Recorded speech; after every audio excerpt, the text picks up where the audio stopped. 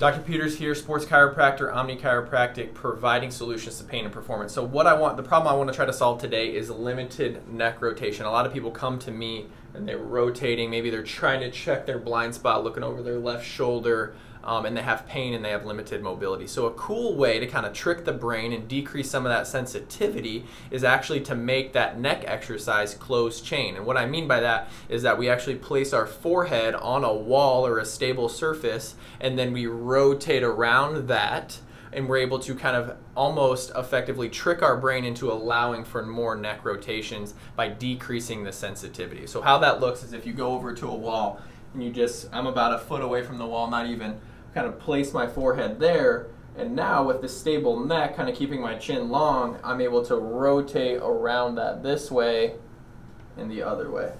Right, so I'm able to I'm able to rotate, and if you look, when I rotate this way, and then I come off the wall, I have effectively achieved a really good amount of rotation in my neck. But when you do that exercise, if you try it out at home, you won't feel like it. You won't feel like you're actually rotating your neck. A lot of it's coming from the back, but because we're holding steady here and then rotating around it, we're actually able to kind of almost trick the brain with this closed chain neck exercise. So try that out if you have limited rotation side to side, having difficulties kind of checking that blind spot due to increased sensitivity in that area.